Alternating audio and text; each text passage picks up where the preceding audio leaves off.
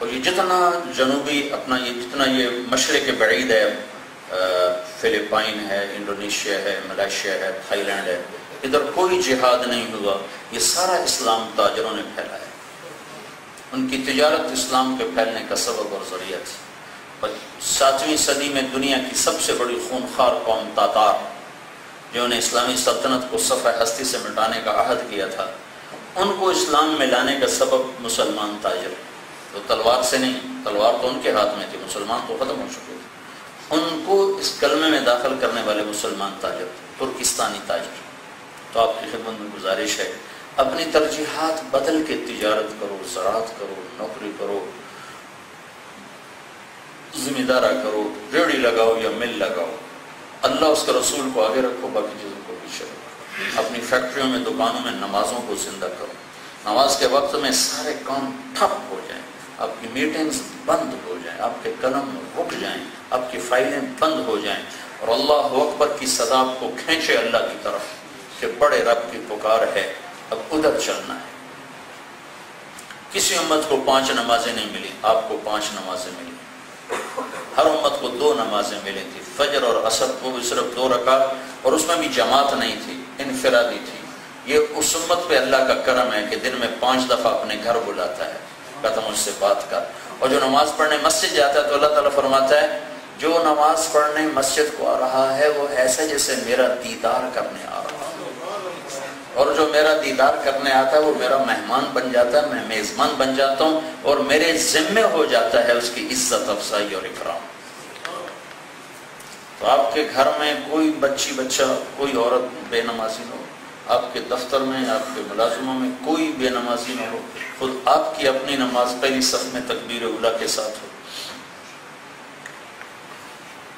ایک تکبیر اولا کا اجر ساتوں زمین آسمان سے زیادہ ہے۔ اکثر آپ لوگ رات کو دیر سے سوتے ہو، دو نفل تہجد کا نیت کر کے پڑھ لیا کرو، تو آپ رات کو تہجد گزاروں میں شمار ہو جاؤ۔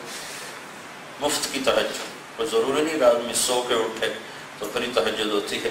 سونے سے پہلے دو نفل پڑھ لو، چار پڑھ لو، تو آپ تہجد گزاروں میں آ جاؤ گے۔ اپنی کمائیوں میں سے سود کو نکالو، جھوٹ کو نکالو، وعدہ خلافی کو نکالو، ہیرا پھیری کو نکالو۔ اپنے ملازموں پر رحم کھاؤ، ترس کھاؤ۔ اللہ کے نبی نے آخری وصیت فرمائی تھی، السلام وما ملکت ایمانکم۔ اے میری امت ہے کہ نماز نہ چھوڑنا، ایک اپنے ملازموں پہ رحم کرو۔ ان کے ساتھ حسن سلوک رکھنا تو سارا دین دو جملوں میں ہے۔ ایک حقوق اللہ ہے جس میں عبادت سب سے اوپر ہے۔ ایک حقوق العباد ہیں، جس میں غریب لوگ سب سے اوپر ہے تو غریبوں سے حسن سلوک آپ کے رزق کو بڑھائے گا۔ کسی کی دعا لگے گی، نسلیں سنور جائیں گی۔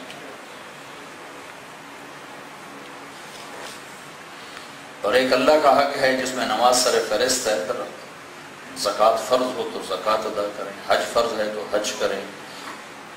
روزے فرض آئیں تو روزے رکھیں۔ مال کو پورا تول کر ناپ کر اس کی زکوٰۃ جتنے بنتے وہ ادا کریں، خود جا کے غریبوں کو ڈھونڈیں، ان کو دیں، ان کو تلاش کریں۔ اس ساری چیزوں کو اتارنے کے لیے ایک محنت ہے، تبلیغ، یہ کوئی جماعت نہیں۔ تو اب بھائیوں کی خدمت میں گزارش ہے، آپ کے یہاں ماشاء اللہ ہفتہ واری ایک پروگرام چل پڑا ہے کہ اللہ رسول کی بات ہوتی ہے۔ بہت مبارک ہے، بہت مبارک ہے۔ گاہے گاہے باز افاہی قصہ پاری نارا یہ تو سننے سنانے سے ہی جذبات بنتے ہیں۔ لیکن کچھ نقل و حرکت بھی ہونی چاہیے کہ اس کا نقل و حرکت کے بغیر چیز میں ثبات اور استقرار نہیں پیدا ہوتا، ٹھہراؤ نہیں پیدا ہوتا۔ تو میں یہ آپ کا چیمبر پورے پاکستان کا سب سے وزنی چیمبر۔ عدد کے لحاظ سے نہیں، وزن کے لحاظ سے۔ آپ پورے پاکستان، پوری دنیا میں اللہ کے دین کے نمائندے بن کر جا سکتے ہیں۔ تو میں یہ آج گزارش کروں گا کہ ایک تو آپ کی جماعت ہر مہینے تین دن کی نکلنی چاہیے، باقاعدگی کے ساتھ۔ اور پھر جب آپ اللہ تعالیٰ آپ کا کوئی نظام بنائے تو چار مہینے چالیس دن جب آپ کو ملے فرصت، تو اس کے لیے آپ ضرور وقت فارغ فرمائیں۔ پوری دنیا اس وقت نظریاتی طور پہ شکست کھا چکی ہے۔ اشتراکیت پہلے مر گئی، سرمایہ داری کا نظام ویسے دم توڑ رہا ہے۔ مذہب کے نام پر جتنی چیزیں تھیں، ان وہ بے جان ہو چکی ہیں۔ اس وقت ساری دنیا مسلمان ہونے کے لیے بالکل تیار ہے۔ پلیٹ فارم بالکل تیار ہے۔ اگر ہم تھوڑی سی محنت کر لیں۔ تو اللہ کے فضل و کرم سے زندگیاں لاکھوں کروڑوں انسان جہنم سے بچ کر جنت میں جانے والے بن سکتے ہیں۔ تو آج میں یہ جسارت کروں گا کہ کچھ نام آ جائیں کہ اگلے جمعے سے کون بھائی تین دن کے لیے تیار ہیں۔ ملک الحمد صلی علی محمد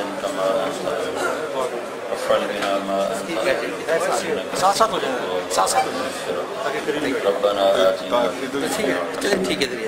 في الآخرة حسنة وقنا عذاب ربنا صرف عنا عذاب جهنم إن عذابها كان غراما.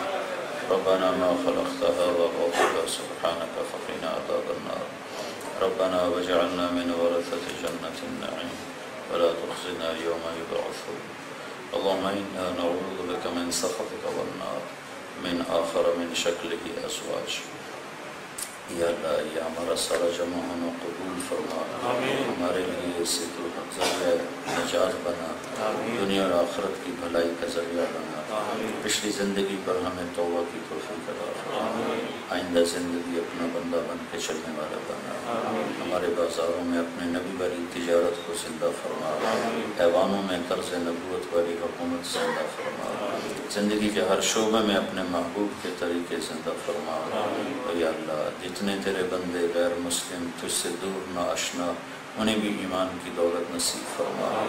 یا اللہ جو تیرے علم میں اصلی بدبخت ہیں اور تیرے بندوں کے لیے تکلیف دے ہیں ان کے وجود سے اپنی زمین کو پاک فرما۔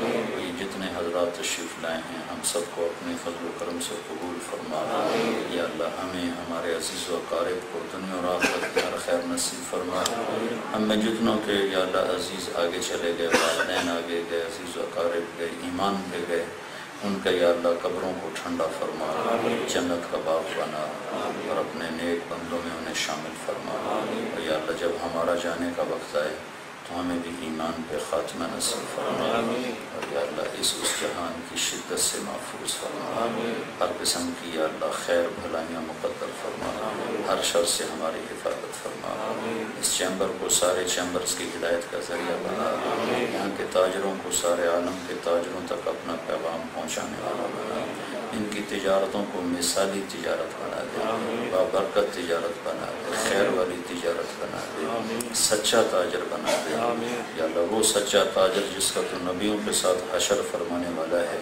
ان کو انہی میں شمار فرما دے اور ان کے ذریعے سے پورے پاکستان کے تجار کو یا اللہ تاجر سچا امین بنا دے اور زندگی کے تمام شعبوں میں یا اللہ اپنے محبوب کی پاکیزہ زندگی کو زندہ فرما دے۔ جو ہم میں بیمار ہیں صحت عطا فرما۔ جو مقروض ہیں انہیں قرضوں سے نجات عطا جو سود میں پھنس گئے تو انہیں اس سے نجات عطا فرما۔ جو غلط یا اللہ مقدمات میں پھنس گئے انہیں نجات عطا فرما۔ ان کے بچے بچیاں جوان ہیں ان کے نیک رشتے مقرر جن کی شادیاں ہو گئی ان میں برکتیں عطا فرما۔ جن کی اولاد نہیں ان کو نیک اولاد عطا فرما۔ جو آپس میں لڑے ہوئے ان میں صلح کرا دے۔ جو روٹھے ہوئے ہیں ان کو آپس میں منا دے۔ جو بگڑے ہوئے ہیں ان کو آپس میں جوڑ پیدا فرما جو بچھڑے ہوئے ہیں ان کو آپس میں ملا دے۔ ونسألك خير الدنيا والآخرة يا أرحم الراحمين وصلى الله تعالى على النبي الكريم آمين يا رب السلام علیکم ورحمۃ اللہ۔ مسافر سے بھائی گریز فرمائیں بہت زیادہ لوگ ہیں۔